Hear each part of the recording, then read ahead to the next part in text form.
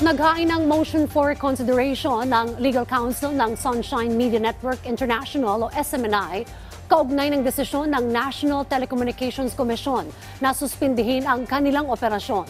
Hinihiling nito na ipaliwanag ng ahensya ang kanilang mga violations sa ilalim ng Certificate of Public Convenience o CPC.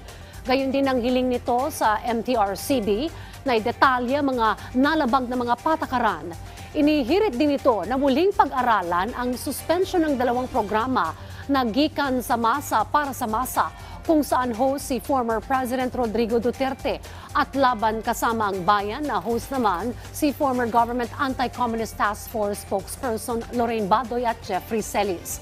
Tinanggap naman ng MTRCB ang nasabing mosyon ng SMNI kung saan masusi nila itong pag-aaralan alinsunod sa kanilang tungkulin at responsibilidad na naaayon sa mandato ng Presidential Decree.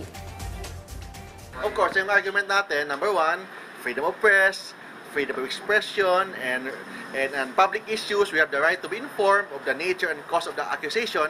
When say presume unconstitutional, sila mismo ang magpresenta ng ebidensya na tama yung ginagawa nila constitutional. Kung hindi sila maka, makapresenta ng clear and present danger rule as a basis for their ruling, uh, the presumption will prevail. And that presumption is the ruling of the MTRCB are presumed unconstitutional.